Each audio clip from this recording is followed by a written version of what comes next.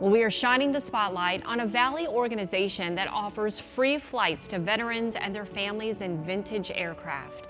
Today was their inaugural Gold Star family flight to honor the family of a fallen warrior who really went above and beyond in both his personal and professional life.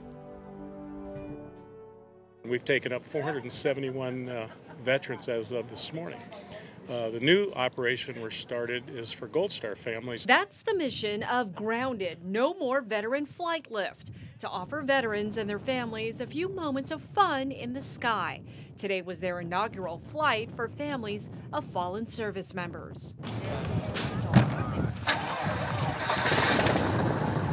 And what better way to start than honoring a soldier's soldier?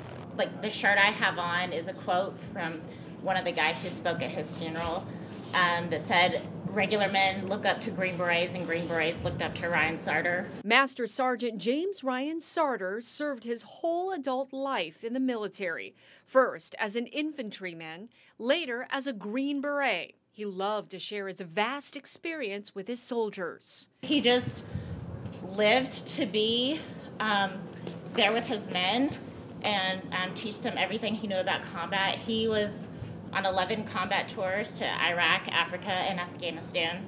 On July 13th of 2019, Master Sergeant Sartor lost his life while patrolling with his men in Afghanistan.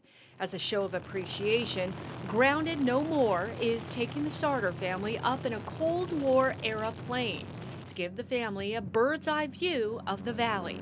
They say it's the least they could do for a family who sacrificed so much. The uh, veterans are the lifeblood of our country and those that have given their lives for this country, paying the ultimate sacrifice. I mean, what don't we owe them? You know, I would do anything I could for these people. They're just amazing to me.